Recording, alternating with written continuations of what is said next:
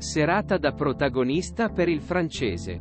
Entrato nella ripresa e poi chiamato a fare l'improvvisato portiere nei minuti di recupero dopo l'espulsione di Maignan. Un intervento decisivo gli ha fatto meritare i complimenti di compagni e nuovi colleghi tra cori e dediche. Ecco sono tutte le reazioni. Per Giroud non era esattamente la prima volta nei post. Giroud protagonista in porta. Video.